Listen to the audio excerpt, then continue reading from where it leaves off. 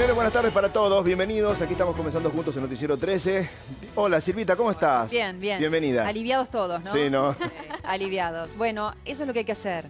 Cuando uno tiene un síntoma y a los días junta dos síntomas es consultar al médico. Son dos síntomas. Eh, son dos síntomas juntos, este, entonces eh, rápidamente consultar al médico. Porque los síntomas son los típicos de una gripe. O sea, Sí, pero no todos. Yo nunca no tuve fiebre, me preguntaban vómito, diarrea, no, ¿Sabor? dolor de cuerpo. Seguía gustando y seguía eh, olfateando. este, no, era una tos seca que empezó con una picazón, que puede ser las cuerdas vocales. Nosotros que trabajamos todo el tiempo, este, mu- forzando mucho las cuerdas vocales. Eh, así que dije estrés de las cuerdas vocales, eh, agotamiento, y se juntó con una pequeña dificultad respiratoria que sigue existiendo, pero se descartó el COVID. Así que Bueno, dio bien. negativo.